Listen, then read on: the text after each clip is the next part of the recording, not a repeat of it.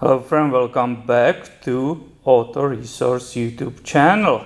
This is 2014 Volkswagen Jetta and it came for the inspection and it will come later for 60,000 miles service.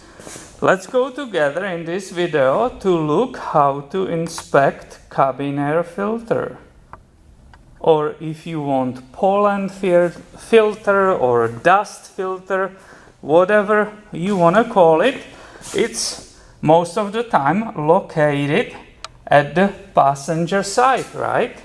Many times those filters are hiding behind the glove box, so you have to remove the glove box and then you get it from behind. But on this car, it's different. This one actually has it relatively easy to get to it here on the bottom, and I'm not sure if the camera will make it because this camcorder is big. But this is where it is and it's actually very easy to get it out. Now stay with me. Trying to also fit myself. Did you see that? I move it to the right right? The whole plastic bottom. I move it that way to the right. It popped off and now slowly is coming that really dirty cabin air filter let me pull it out so we can look at it together. Right? Ah, sorry for that, but there's not much space. So you can see this one is wasted, right? This is kaput.